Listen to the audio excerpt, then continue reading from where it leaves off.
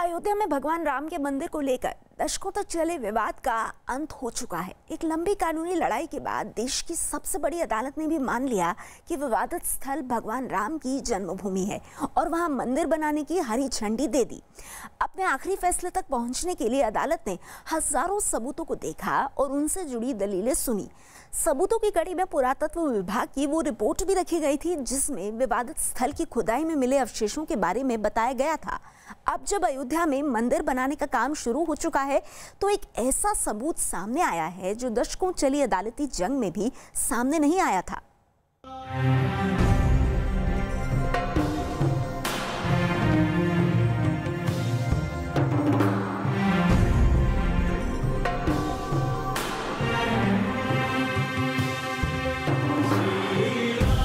भगवान राम की जन्मभूमि ने फिर दी सबूतों की गवाही।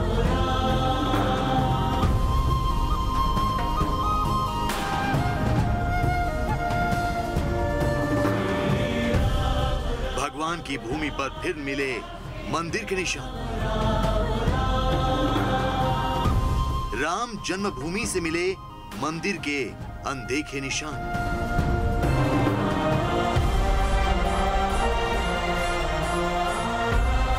पहली बार सामने आए मंदिर के वो सबूत जो अदालत तक नहीं पहुँचे।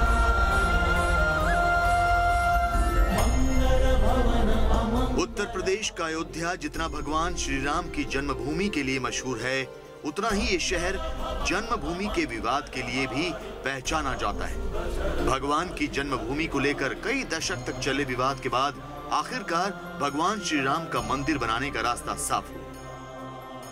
अयोध्या में भगवान राम का मंदिर बनाने को लेकर अदालत से रास्ता साफ़ होने के बाद अब यहाँ भव्य मंदिर बनाने की शुरुआत हो चुकी है। हालाँकि कोरोना की वजह से काम की रफ्तार कुछ सुस्त ज़रूर पड़ी थी, लेकिन जल्द से जल्द भगवान का मंदिर बनाए जाने की कोशिश जारी है। भगवान राम का मंदिर बनाए जाने का रास्ता देश की सबसे बड़ी अदालत ने तमाम सबूतों को देखने के बाद खोला। और जब मंदिर बनाए जाने का काम चल रहा है तो इस जगह से नए नए सबूत सामने आ रहे हैं। ये वो सबूत हैं जो दशकों तक चली अदालत की जंग के दौरान भी सामने नहीं आए थे।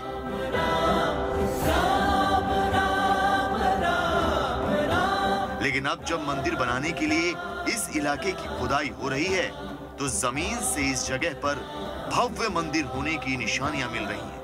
और अब जो निशानी सामने आई है तो हैरान करने वाली।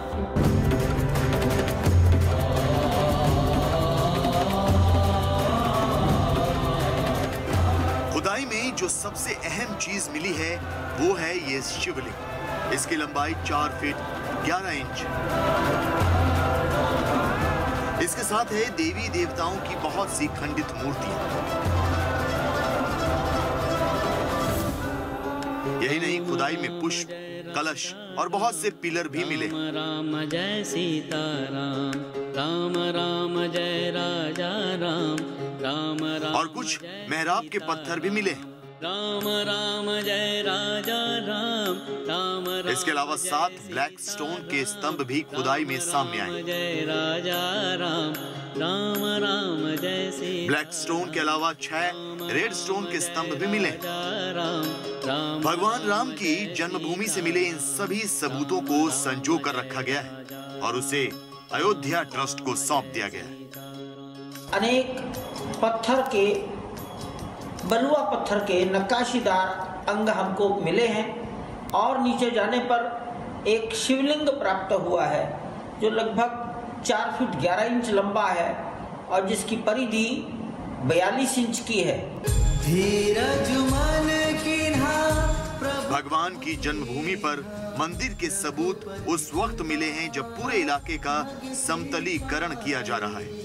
अभी ये खुदाई का काम जारी है इसलिए आने वाले वक्त में और भी इस तरह के सबूत मिल सकते हैं। और राम जन्मभूमि में खुदाई के दरमियान कई अहम पत्थर मिले हैं। ज़मीन का समतलीकरण चल रहा है और समतलीकरण में नक्काशीदार कई पत्थर पूरा अवशेष के मिले हैं, जिसमें आमलक पत्थर है चौखट बाजू हैं। साथ ही भगवान की ऐसी कई खंडित प्रतिमाएँ भी मिली हैं जो तमाम अपने प्राचीनता को सिद्ध कर रही हैं। उसके साथ ही भगवान का शिवलिंग भी अंदर मिला है और जो खुदाई है समतलीकरण के दरमियान कई प्राचीन कुएँ भी अंदर मिले हैं। तो इस तरीके की कई चीज़ें राम जन्मभूमि की खुदाई के दरमियान राम जन्मभूमि की परिसर में मिली है, जिसकी पुष्टि श्री राम जन्मभूमि तीर्थ क्षेत्र ट्रस्ट के महामंत्री चंपत राय ने की है।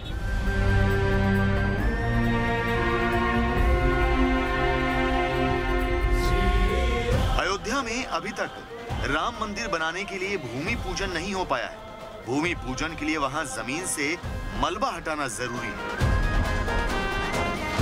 लॉकडाउन की वजह से इस काम में देरी हो रही थी। लॉकडाउन में छूट मिलने के बाद यहाँ निर्माण कार्य शुरू किया गया। सबसे पहले मंदिर के लिए एक चबूतरा बनाने की तैयारी हो रही है। इसके लिए ज़मीन को समतल किया जा रहा है। ये काम 11 मई से जारी है। रामलला विराजमान के पास एक खाई मौजूद है। इस खाई के पास ही खुदाई के दौरान मंदिर के अवशेष मिले मंदिर की निशानियाँ मिलने के बाद संत समाज काफ़ी खुश है।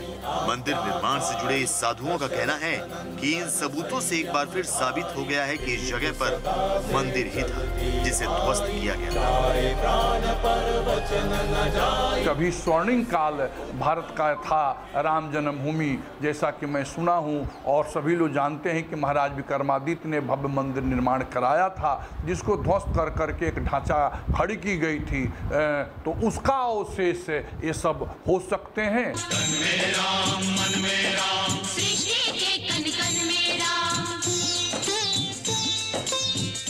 मंदिर निर्माण से जुड़े साधुओं का कहना है कि इन अवशेषों को सुरक्षित रखा जाएगा, क्योंकि ये सबूत हिंदू समाज के लिए गर्व की मिसाल है। इसका समतलीकरण कराया जा रहा है इस लॉकडाउन में भी, कि जिससे जल्दी से जल्दी जो पूर्व निर्धारित समय मिला है, उसमें रामलला मंदिर विराज बन जाए और रामलला उसमें विराजमान हो जाए। इसलिए ये कार्य चल रहा है। ये आनंद का विषय है, हम सबके लिए गौरव का विषय है। अयोध्या में भगवान श्री राम की जन्मभूमि से मिले इन सबूतों के सामने आने के बाद सियासी जंग भी तेज हो गई है। राम मंदिर से जुड़े लोगों का कहना है कि इन निशानियों से साफ़ है कि भगवान श्री राम का मंदिर बनाने के रास्ते में रोड़े अटकाए गए और दशकों तक चली लंबी लड़ाई बेमानी थी। अयोध्या में राम जन्मभूमि से मिले मंदिर के निशानों ने एक बार फिर यहाँ पुरातत्व विभाग की हुई खुदाई और उसमें मिले सबूतों की याद ताज़ा कर दी। जन्मभूमि विवाद के वक्त इस जगह पर पुरातत्व विभाग ने खुदाई की थी और उससे भी बहुत सी ऐसी निशानियाँ मिली थी। उस वक्त पुरातत्व विभाग पर भी सवाल उठे थे। अब इन सबूतों के सामने आने के बाद पुरातत्व विभाग की खोज पर एक बार फिर से मुहर लग गई। लेकिन इसके साथ ही मंदिर से जुड़ा सियासी घमासान का जिन्न भी एक बार फिर से बाहर आ गया।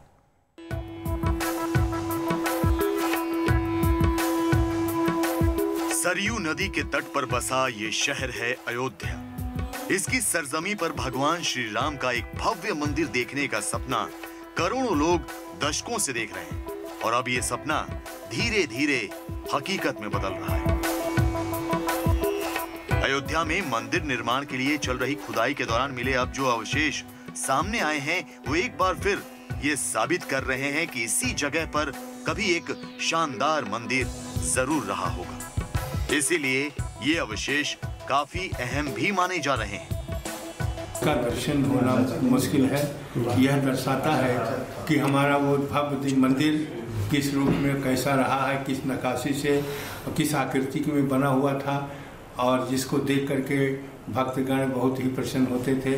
ये जितने सामान निकल रहे हैं अवशेष, ये बहुत ही महत्वपूर्ण है, अमूल्य है।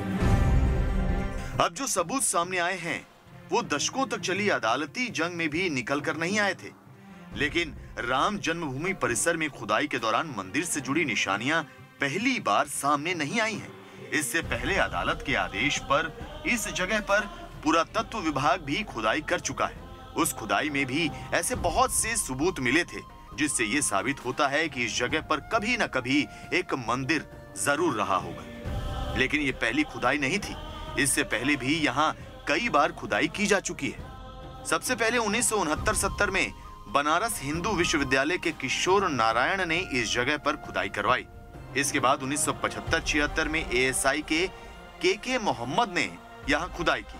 उन्नीस सौ बानवे में पुरातत्व विभाग के पूर्व निदेशक वाई डी शर्मा की टीम ने परिसर में खुदाई की। इसके बाद 2003 में अदालत के आदेश पर पुरातत्व विभाग की टीम ने यहाँ खुदाई की थी। हर बार खुदाई के दौरान यहाँ बहुत से अवशेष मिलते रहे जिसके आधार पर अलग अलग दावे भी किए जाते रहे। लेकिन पुरातत्वविद के के मोहम्मद की टीम ने जो खुदाई की, उसमें इस जगह पर मंदिर होने के बहुत से अवशेष मिले। बाद में के के मोहम्मद ने एक किताब भी लिखी। के के मोहम्मद के मुताबिक उन्हें खुदाई में हिंदू मंदिर के चौदह स्तंभ मिले थे। स्तंभ के नीचे के हिस्से में ईटों से बनाया हुआ आधार मिला था। सभी स्तंभ ब्लैक ब्लास्ट पत्थर से बने थे। के के मोहम्मद के मुताबिक स्तंभ के नीचे मंदिरों के पूर्ण कलश बने थे और उन्हें खुदाई के दौरान विष्णु, हरि शिला फलक भी मिला था। अपनी रिसर्च के आधार पर के के मोहम्मद पूरे दावे के साथ कहते हैं कि राम जन्मभूमि पर बाबरी मस्जिद से पहले एक मंदिर था। जो ने जब इसका एक्सकेवेशन जो हुआ था, वो प्रोफेसर बीबी लाल साहब के अंडर में थे। तो मैं भी उसी का एक मेंबर था। और हम लोगों ने एक्सकेवेशन जब के लिए जब गया तो वो जो बाबरी मस्जिद था, उसमें उसी टाइम में जो मंदिर का जो 14 पिलर्स थे और फिर जब एक्सकेवेशन उसमें तो खैर तो बिल्कुल ज़ाहिर था कि जो ना ये मंदिर का पिलर्स है राम जन्मभूमि पर मंदिर था या नहीं यह बहस दशकों तक चली। अब जब अदालत ने इसका फैसला दे दिया है तो इस बहस पर फुल स्टॉप लग गया था। लेकिन मंदिर निर्माण के दौरान खुदाई में नए अवशेष मिलने के बाद राम मंदिर से जुड़ी बहस फिर से शुरू हो गई। बीजेपी और कांग्रेस इस मुद्दे पर फिर भिड़ गए। भारत तोड़ो गैंग। जेएनयू यूनिवर्सिटी, ये ऐसे सारे तत्व है जो राम मंदिर का निरंतर विरोध कर रहे हैं। उनके मुँह पर ये जो अंदर से ज़मीन नई चीज़ें मिली हुई है, शिवलिंग मिला है, स्तंभ मिले हैं, कलश मिले हैं, जो मांगा ही नहीं है अभी तो विषय ही नहीं है। ये इस बात के प्रतीक है कि यहाँ राम मंदिर था। बाबरी मस्जिद राम जन्मभूमि के मामले में सुप्रीम कोर्ट के फैसला आने के बाद न किसी सबूत की ज़रूरत है न किसी बयान की ज़रूरत है। राम मंदिर एक ऐसा मुद्दा है कि जिसकी छोटी सी चिंगारी भी बहुत तेज़ी से भड़कती है। अब जो निशानियाँ मिली हैं उसे लेकर भी यही हुआ। शोले सिर्फ़ सियासत की दुनिया में ही नहीं उठे बल्कि हिंदू और मुस्लिम संगठनों में भी बयानबाजी शुरू हो गई। वहाँ पर राम का जन्मभूमि ही था और एक भव्य राम मंदिर वहाँ था जिसको गिरा करके आक्रांताओं ने मस्जिद का निर्माण कराया था। लेकिन कांग्रेस पार्टी हमेशा इस पर राजनीति कर रही थी। वहाँ कोई मूर्तियाँ नहीं मिल रही हैं, बल्कि जो मलबा है, चाहे वो शिव चबूतरे का शंकर चबूतरे का मलबा हो, चाहे वो जन्म स्थान चबूतरे का हो, चाहे बाबरी मस्जिद का हो, इन ये तीनों चीज़ें वहाँ मौजूद थी और बानवे में डिमोलिश हुई थी। तो उसका मलबा वहाँ पड़ा हुआ था। मस्जिद के मलबे का वो हिस्सा है जिसको ये पत्थर कह रहे हैं तो वो पिलर्स थे राम जन्मभूमि से जुड़ी इस तरह की जुबानी जंग शायद ही कभी खत्म हो, लेकिन फ़िलहाल सच्चाई यही है कि देश की सबसे बड़ी अदालत से यहाँ मंदिर निर्माण का रास्ता साफ़ हो चुका है। और अब इंतज़ार उस मंदिर को देखने का है, जिसकी कल्पना उन्नीस सौ नवासी में विश्व हिंदू परिषद और राम जन्मभूमि न्यास ने की थी और एक मॉडल बनाया था। इस मॉडल के तहत अयोध्या में राम जन्मभूमि पर दो मंजिला मंदिर बनेगा। मंदिर की पूरब से पश्चिम की ओर लंबाई दो सौ अड़सठ फीट होगी। वहीं मुख्य मंदिर की उत्तर से दक्षिण की ओर चौड़ाई 140 फीट रहेगी। मंदिर का शिखर 128 फीट ऊँचा होगा। मंदिर की पहली मंजिल में ही गर्भगृह होगा, जहाँ रामलला विराजमान होंगे। पहली मंजिल में खंभों की ऊंचाई 16 फीट 6 इंच होगी, जबकि दूसरी मंजिल पर खंभों की ऊंचाई 14 फीट 6 इंच। हर मंजिल में 106 खंभे होंगे। खंभों पर यक्ष यक्षिणियों की 16 मूर्तियाँ बनाई जाएँगी। राम मंदिर में सफ़ेद संगमरमर की चौखट वाले कुल 24 दरवाजे होंगे। मुख्य मंदिर के चारों ओर 10 फीट चौड़ा परिक्रमा मार्ग बनेगा। पूरा मंदिर जिस प्लेटफॉर्म पर बनेगा, उसकी ऊंचाई 8 फीट होगी। मुख्य मंदिर के अगल बगल श्री राम से जुड़े लोगों के छोटे छोटे मंदिर होंगे। इस कल्पना के आधार पर राम मंदिर का निर्माण अब शुरू हो चुका है और जल्द ही इसके पूरा होने की उम्मीद भी है। क्योंकि मंदिर निर्माण से जुड़े सामान तो यहाँ बरसों से जमा किए जा रहे थे। बस ज़रूरत अदालत की हरी झंडी की थी, जो पहले ही मिल चुकी है।